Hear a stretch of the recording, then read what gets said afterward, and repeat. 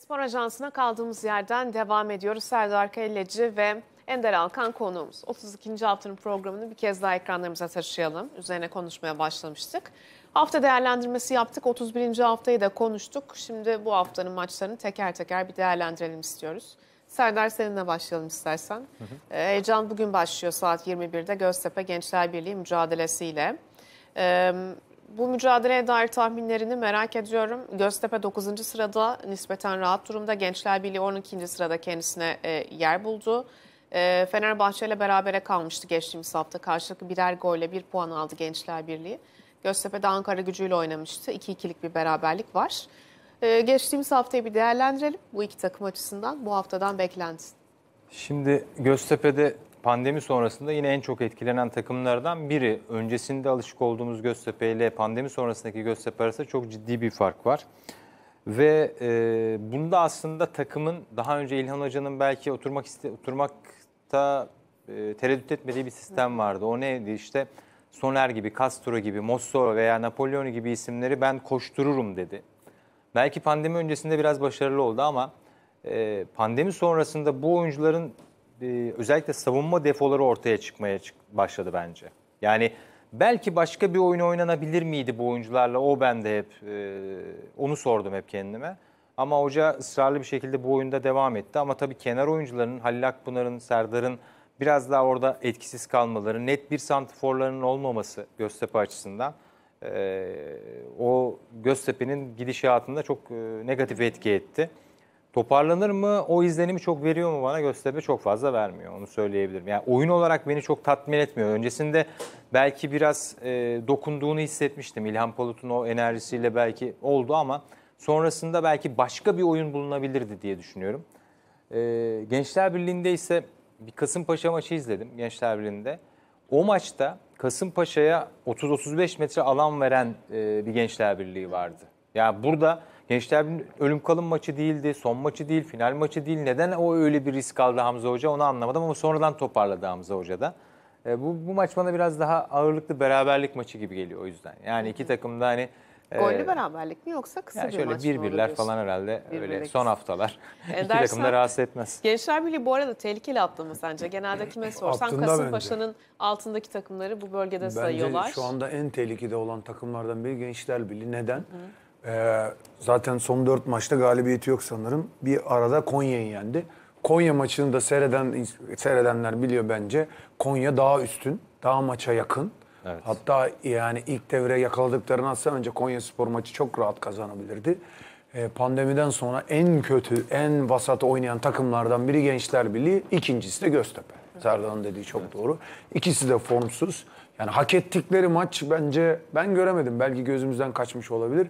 Hani bazen oynarsın. E, olabilir. Göztepe maçını hatırlayalım. Trabzon yani sürkülize etti yani şeyi.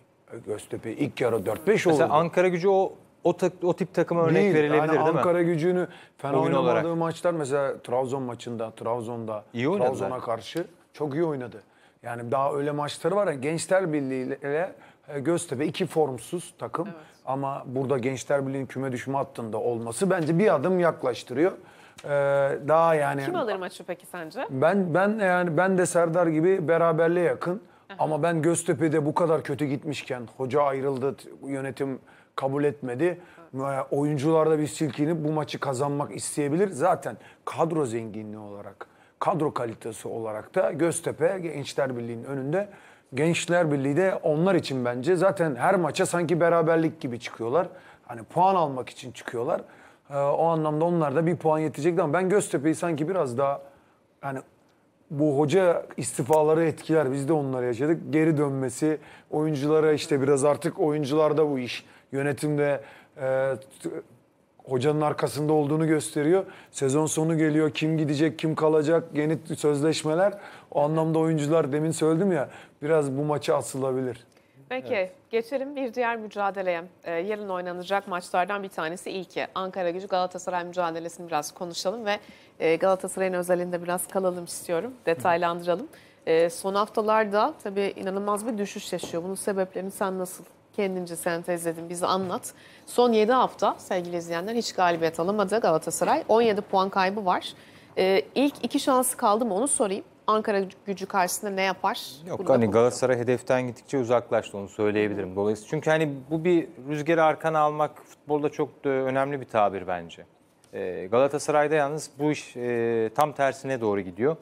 Ama tabii bunun etkenleri var. Pandemi sonrası vesaire takımın e, yeterli form düzeyine ulaşamaması, Fatih Hoca'nın farklı bir sisteme mecburen gitmesi. Çünkü sosyal medyada bir şey gördüm e, bir maçtan önce. E, işte Galatasaray'da Muslera, Luyendama, Marka falan yazıyor. Birisi de yazmış altına ilk 11 zannettim. Yani tüm eksikler ilk 11 yapıyor Galatasaray'da. Yani öyle bir hale geldi ki Galatasaray. Ama burada pandemi sonrasında e, kondisyoner e, Bartalli'ydi herhalde. Onun orada kalması bunlar tabii ki sizi şampiyonluğa götürecek etkenler bunlar. Yani her iş teknik direktör yapmaz. İşte kondisyoneri ayrıdır, analizcisi ayrıdır. E, bunların hepsini bir adama doğru fokusla e, yaklaştırırsan işin içinden çıkamazsın ama şimdi pandemi sonrasında Galatasaray ligin en çok gol yiyen takımı.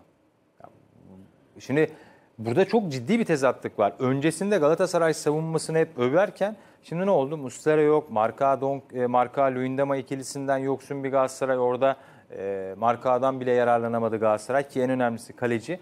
Ya bunlar geçerli sebepler mi futbolda? Evet. Hani bah- gerçekten bir bahane ise hani gerçek bir bahane Galatasaray'ın önünde var. Daha bir takımın başına ne gelebilir? Yani santiforun yok, kalecin yok, savunman yok. Orta sahada, kanatlarda eksiğin var.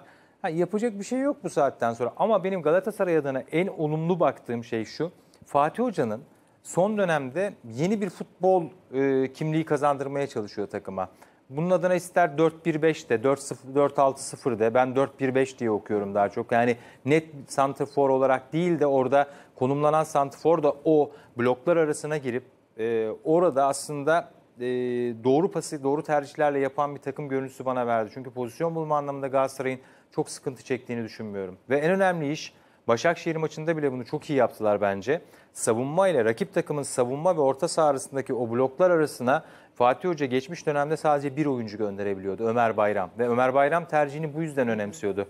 Ama pandemi sonrası mecburiyetten yaptığı bir şey var. O rakip takımın savunma ve orta saha bloğunun arasına 5 oyuncu birden göndermeye başladı Galatasaray.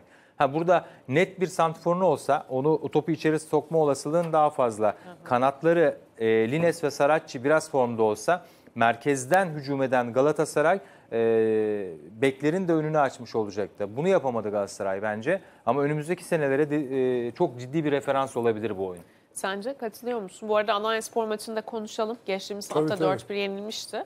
Ee, topu aslında tuttu ama kilidi açamadı o mücadelede. Sen Ya- nasıl buldun oyunu biraz konuşalım. E, oyunu da Serdar'ın dedikleri çok doğru. Çok doğru şeyler söyledi. Ama ben şunu diyorum. Hani futbolda neden vardır? Antrenörler parçadan bütüne gidersin. Şimdi Galatasaray artık şu duruma düştüysen ikincilik şansı yok. Matematiksel de yok artık. Şampiyonlar Ligi şansı yok. Maliyetli bir kadro yapmışsın. Ee, liderin 14 puan gerindesin. Bütününü düşünmen lazım. Bütün sezon artık. Yani şu maç bu maç biz bunu konuşuruz yorumlayalım ama yok 12 ka- 10 Muslera'nın olması bile bir takım etkiler. Çok değerli Tabii, bir kaleci. tabii. Falcao'nun olması da etkiler. Olabilir. Ama Antalya Spor'da 12 eksikle Trabzon gibi ligin en çok gol atan takımına karşı yani ezilmedi. Çok iyi bir oyun oynadı. Çünkü neden?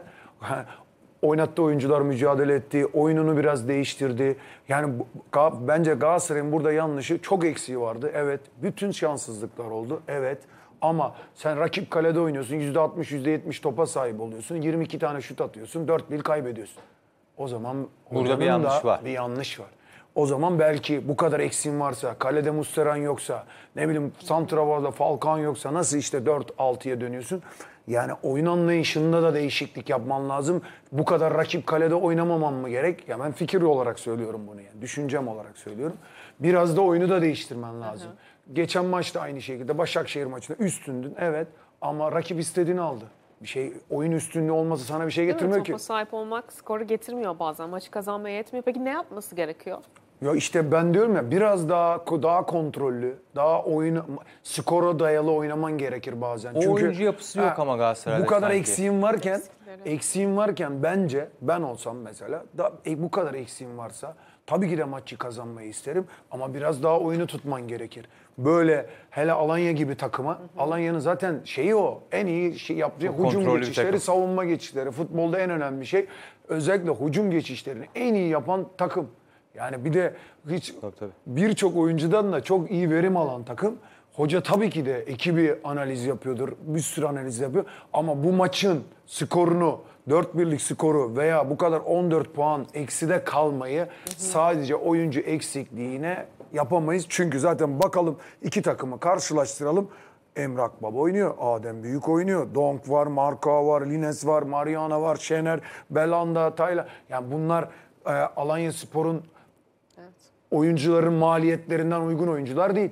Bunlar zaten oynasınlar diye alındı. Takıma katkı versinler diye alındı. Bir de şunu yapmamız lazım. Bir takımın bütçesi ne göre hedef belirlersin. Tabii, tabii. Sen hedefine için Alanya Spor'un belirlediği hedefin bence yakınında ve daha üstünde. Sivas Spor belli bir bütçe için gelmiş. Sivas Spor üçüncü de olsa başarıdır, altıncı da olsa. Çünkü biraz da takımları bütçesine göre değerlendirmek gerekiyor. Fayda Yoksa maliyeti. ben de alırım 10 Tabii. tane 20 tane iyi oyuncu. 5. 6. bitirmişim başarı değil. Yani Galatasaray'ın zaten hoca da söylüyor. Birinci, ikinci, birincilik dışında başarı şansı yok. Peki bu arada